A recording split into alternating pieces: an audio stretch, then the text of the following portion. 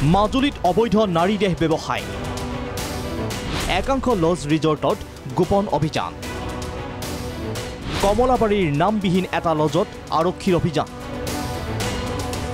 মাজুলীত আৰক্ষীৰ নাকৰ তলতে মাজুলীৰ একাংশ লজ আৰু ৰিজৰ্টত দীৰ্ঘদিন ধৰি নাৰী দেহৰ অবৈধ বেহাজ চলি থকাৰ অভিযোগ।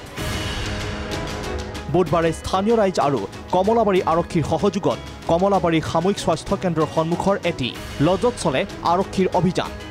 স্থানীয় ৰাইজৰ অভিযোগ লজত চলে অনৈতিক কাৰ্য। কমলাবাৰী আৰক্ষী আৰু স্থানীয় ৰাইজে চলোৱা অভিযানত স্থানীয় ৰাইজে ঘেৰাও কৰে সন্দেহজনক দুই মহিলা আৰু কেইজনমান যুৱকক। যোৰহাটৰ বুলি পৰিচয় দিয়া সন্দেহজনক দুই মহিলাক আটক কৰি সোধা পোছা অব্যাহত ৰাখিছে আৰক্ষীয়ে। আৰক্ষীয়ে মহিলা দুগৰাকীক আটক কৰাৰ বিপৰীতে যুৱককেইজনক আটক কৰিবলৈ সক্ষম নহ'ল। সন্দেহজনক আটাইকেইজন যুৱকেই পলাই যাবলৈ সক্ষম হয়। কিন্তু ইয়াৰ বিপৰীতে স্থানীয় ৰাইজৰ অভিযোগত আৰক্ষীয়ে আটক কৰে লজৰ স্বত্বাধিকাৰী কমলেশ্বৰ বৰা। দেশী বিদেশী পৰ্যটকে ভিৰ কৰা মাজুলীত সংঘটিত এনেধৰণৰ ঘটনাই এতিয়া চকু কপালত তুলিছে সাধাৰণ ৰাইজৰ। মাজুলীৰ পৰা জ্যোতিষ কুমাৰ তামুলীৰ ৰিপৰ্ট প্ৰাগ নিউজ।